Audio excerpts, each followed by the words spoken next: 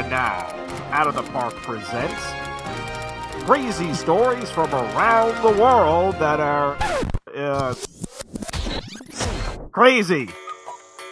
Here's Matt and Barry. And crazy stories from around the world that are indeed crazy, Matt, are brought to you by Stirring Images.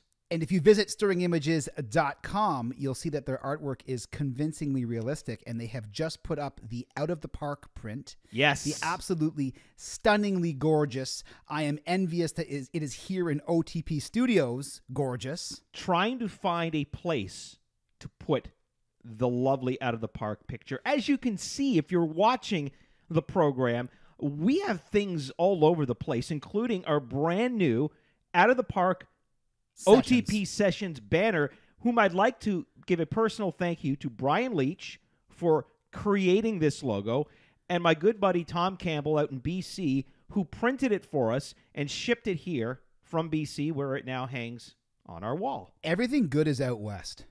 There's a lot of good things out west. Brian Leach, Yes. your buddy with the with the Sessions logo thing, right? Yes. Theo Fleury. Yes. Uh, now on to crazy stories, and uh, I don't know. Is Quincy Jones from out west? Because I hope he's not, because that Oh, would boy. totally ruin everything that we're going to say. First of all, Can you just pump the brakes for a second? Should I go first? yeah, it's probably a good idea. Because I feel like I'm going to have a picnic in the apocalypse. okay. I will say there is a reason for Yeah, the the shirt yeah. and for the album covers that are behind me. This is uh Barry's switches are flipped. Uh, we talked about this earlier in the week, and I've actually been waiting to hear this. Okay, so I'm gonna go light because we're gonna probably burn the whole thing down in a minute. A woman was denied her emotional support peacock on a United flight recently. Wait, Yeah, what? I'm not kidding. Okay, She has a peacock. Okay, so there's this new trend. What these creatures are called is emotional support creatures. So people have dogs. Oh, like your mine. cats. I'm your emotional support. You're my creature? emotional right. support creature. Okay, that's fine. So what happens is, I'm assuming when people are dealing with a situation that they find stressful, they bring their cat or their dog. Mm-hmm. Okay. Well, this woman was stressed out about her flight and decided that the only way that she could get through her flight was to bring her emotional support peacock. Why shouldn't she? Okay. Everyone has the right to that, don't they? I would imagine. The the choice of the animal raises a bunch of questions for me, but regardless, United says this animal did not meet the guidelines for a number of reasons, including its weight and size. We explained this to the customers on three separate occasions before they arrived at the airport. Now, there are cases of people bringing dogs and cats. In fact, most of the staff on the United Flight said, We'll take a majestic peacock over the five plus dogs that have attacked myself and my coworkers just this past holiday season. The point being, the bird was not allowed on the bird. That's, that's very clever, but that's not fair. No. How would our pal Lorraine like it if poor Otis was not allowed? Now, Otis would probably make a lot of noise, Right. but it'd be good noise. But Otis. Can you is- imagine a, a big chant of Tulo on a flight?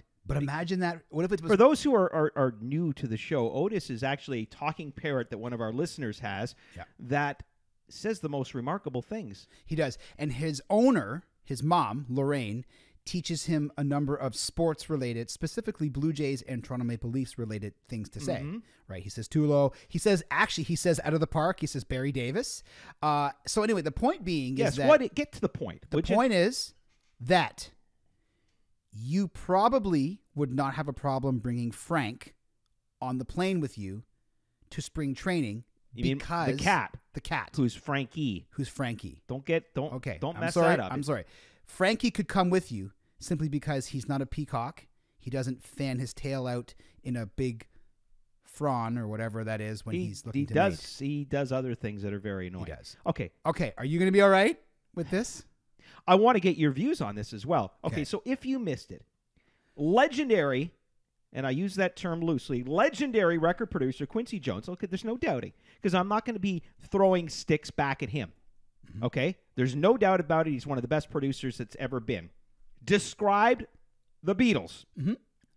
the Fab Four, the best rock and roll band, the most influential musical act to ever grace this earth. He referred to them as the worst musicians in the world. Mhm. Okay, Quincy, I know you're getting a little up there in age.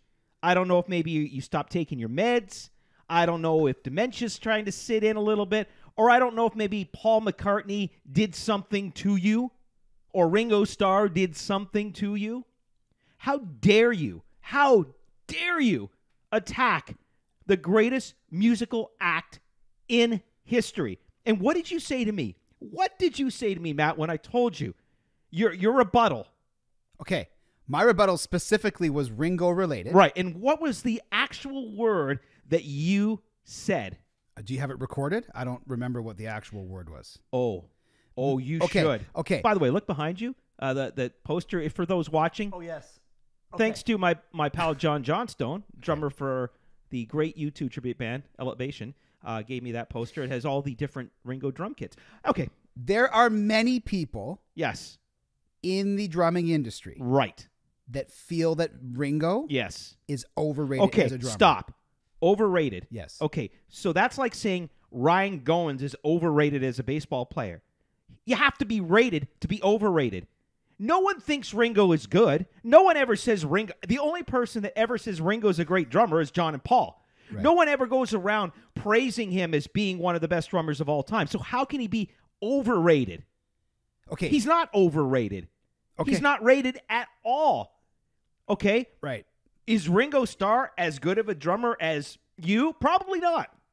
Okay. But what Ringo Starr did, he did well Mm-hmm. for the band for the type of music they were making. Yes. Okay? Yeah. Don't say he's overrated. Okay. You're only you're only upset by this. You're only upset by this because you are an avid Beatles fan. You are. I'm You're only very upset- objective here. No, you're not. You're absolutely not. Your bias is showing clearly. Look, here's the deal with Ringo. The problem was the the time period that he came out in. Yes. He was surrounded by potentially the greatest crop of drummers Who cares? ever grace. The point is, You put- as a comparison, as a comparison Right. to his counterparts, to his peers. I'm not saying Ringo Starr was the best drummer on earth, but you put Keith Moon in the Beatles or John Bonham in the Beatles, the sound is not what it was supposed to be. I get it. I get it. Less is more sometimes. I totally get it. Look, you're talking about the opinions of a single person. Yes, and you refer to him as a le- you said a legendary, one of the greatest music producers ever. Yes, and then uh, I came back of all saying, time. So, what would you call George Martin? George Martin never never produced an album that sold 120 million albums. He never produced an album Are that sold you a hun- sure? 120 million albums. And you're Thriller referring to. Thriller, and and you're saying that Sergeant Pepper didn't sell as many as those? No, I actually have the numbers up right here. Okay, because I knew that we were going to get this. 32 million. okay. copies. So let me ask you this: Pepper sold. Let's talk about the number of copies of albums that George Martin produced Mm-hmm. that were sold compared to the amount of albums total that Quincy Jones produced. I don't have those numbers in front Ah, of me. you don't have the numbers. I don't. Okay, I'm done. Okay, I'm done. Hold up. Quincy. You know what? Your time is past, Pally. Okay, he's 84 years old. Ah, Let's give him. Okay, he's 84 years old. Time to get to the he's home your mom's. He's your mom's age. My mom's actually older. Okay, My mom would never, never say that, besmirch the Beatles. or Tom Jones for that matter. Okay. She loves him.